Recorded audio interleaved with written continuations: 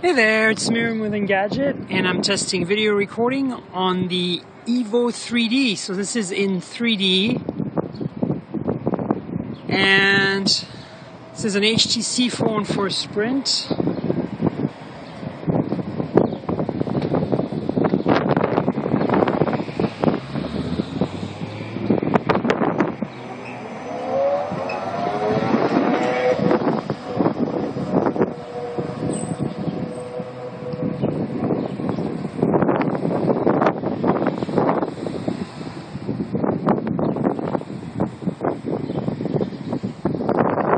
And there you go.